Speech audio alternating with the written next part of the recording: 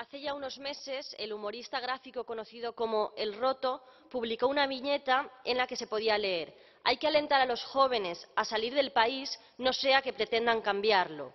Centenares de miles de jóvenes, y no tan jóvenes, los últimos años se han visto obligados a exiliarse porque en el Estado español se les niega el futuro se les expulsa y además después cuando ya están fuera les impiden votar. en dos mil once partido popular y partido socialista cambiaron la ley electoral y ahora los ciudadanos y ciudadanas españolas residentes en el extranjero tienen que rogar el voto para poder participar en las elecciones todo un proceso con mil trabas y mil dificultades que prácticamente impide ejercer su derecho al voto. De hecho, en las últimas elecciones europeas solo votó el 4,5% del censo de residentes en el extranjero y en Andalucía solo el 3,8%, cosa que pone en duda la legitimidad del resultado electoral.